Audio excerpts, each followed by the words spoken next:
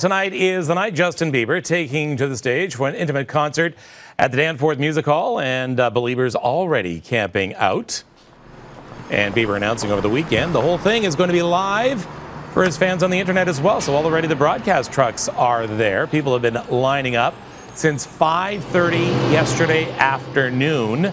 They all have tickets. It's just that there's no uh, reserved seating, so they want to be uh, first and foremost at the front of the stage.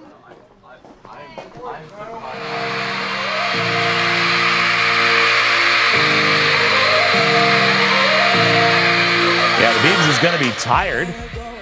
Last night, just last night, in London, England, at the Capital Jingle Bell Ball at the O2.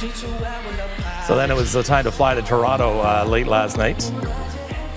Let's not forget the reason behind this. We are live at the House of Blessing in Stratford this morning, Bieber's hometown. The proceeds from the $100 tickets will be going to the Stratford House of Blessing, a community center that helps those in need. Now, uh, Bieber's mom used the center when she was a child.